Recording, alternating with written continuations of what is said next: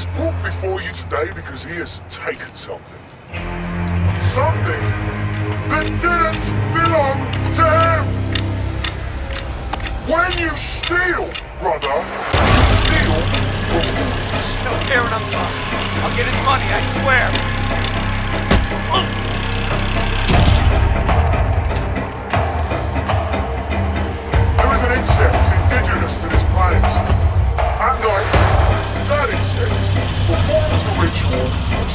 shops, the entrance to it.